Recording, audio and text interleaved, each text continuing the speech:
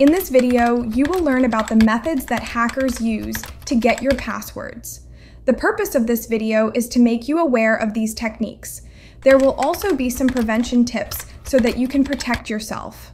Don't worry, bad guys won't take this video as a tutorial. They already know it.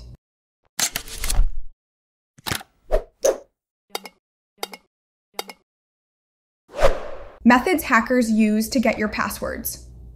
There are many different ways, but in this video, I am going to tell you about these five methods that hackers use to get your passwords. Password guessing, harvesting, cracking, spraying, and stuffing. Let's take them one by one, starting with guessing. As the name suggests, hackers try to guess your password. They use the most common passwords and try to log into your account. They can also use the leaked password in previous breaches. Hackers try one password, and if that doesn't work, they try another and keep doing that until they get access to your account. That's when the system administrators have decided to put a limit on wrong passwords. Usually, you get three tries to enter the correct password, and if you fail to do that, your account gets locked. That's the reason the guessing is not that much effective for hackers unless they made a very good guess. Due to the limitations in guessing, cybercriminals move to another method called harvesting. In this method, hackers attempt to get the actual password. So, how do they do this? They might infect your system with certain malware like keyloggers or spyware. This type of malware records your keyboard activity and sends it to the hackers.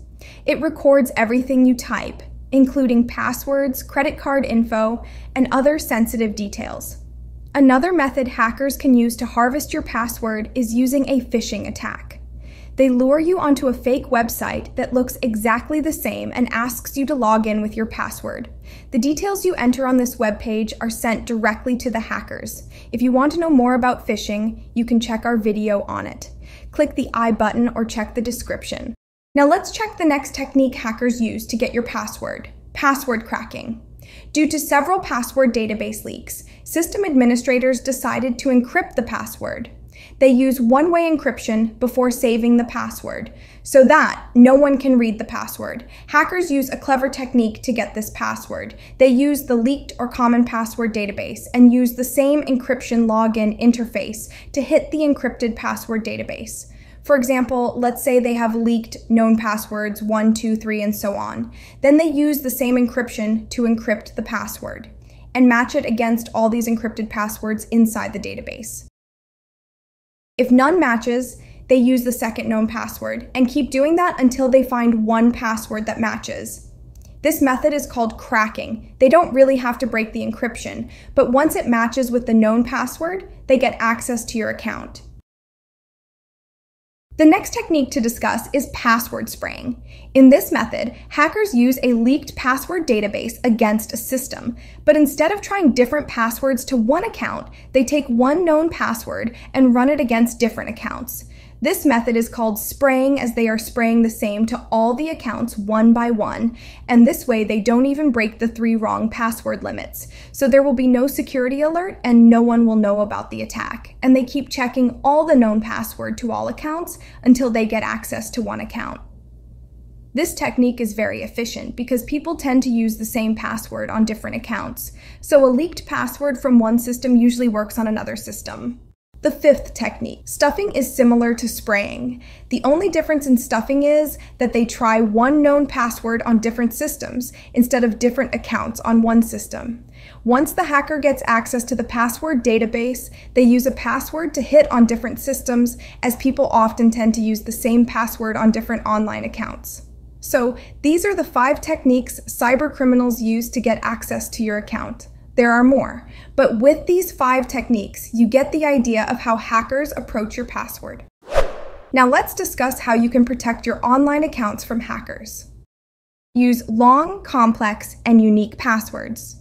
The first thing you should make sure is that you use a unique password for all of your accounts. In case one of your account's passwords is breached, hackers can't get access to all of your accounts using password spraying and stuffing. Also, make sure your password isn't a phrase or sentence.